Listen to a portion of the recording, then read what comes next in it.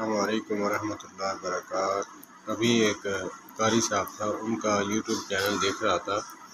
उस पर वो बता रहे थे कि लोगों को ये सवाल आते हैं कि ज़ेर नाफ बाल काटना तो ज़रूरी है, क्या दुबर के बाल भी काटना ज़रूरी है?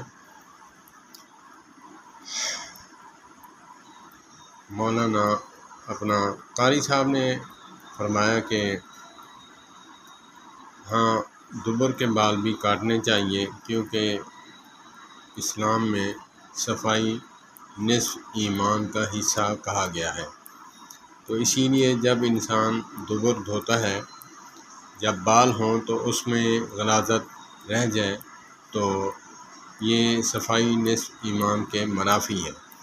तो इसीलिए उसके बाल भी काटने चाहिए। लेकिन नहायत बहुत अदब के साथ कारी साहब पर तनकीद नहीं, मैं एक तालब इम हूँ। एक बात भूल गए कि बात ये करनी चाहिए थी कि जिसके बाल घने हैं और जिसके बाल बहुत ज़्यादा हैं, उसको सफ़ाई करनी नहीं चाहिए। अगरचे बाल जो हैं, बिल्कुल बारीक हैं, नरम हैं तो उसको जो है एक लोटे की बजाय दो लोटे ख़र्च करके, यानी मकसद ज़्यादा पानी ख़र्च करके सफ़ाई कर सकता है।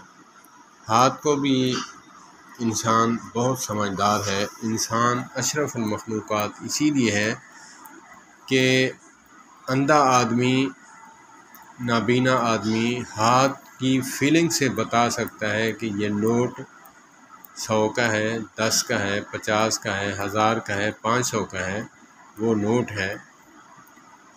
तो फिर अपनी दुबर को भी वज़ू के वक्त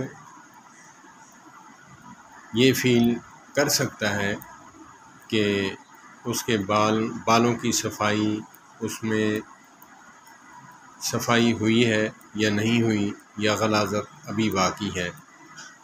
सीधी सी बात है अगरचे लेसदार चीज़ उसके हाथ को फील होती है तो तब तक सफ़ाई करता रहे, जब तक वो जगह चिकनी ना हो जाए। हाँ तो जब इंसान हाथ वैसे धोता है, बग़ैर साबुन के तो हाल, हाथ लेसदार होता है। जब वो साबुन के साथ धोने के बाद फिर दोबारा धोएँ तो उसके हाथ चिपकते नहीं, बल्कि चिकनाहट की आवाज़ आती है चिक चिक की आवाज़ आती है। खुरदरापन होता है तो इसीलिए दुबर के बाल वही काट सकता है, जिसके बाल घने हों, वही काट सकता है। अल्लाह पाक हमें दीन समझने की तोफ़ी अता फ़रमाए। और सफ़ाई रखने की भी अल्लाह पाक तोफ़ी अता फ़रमाए।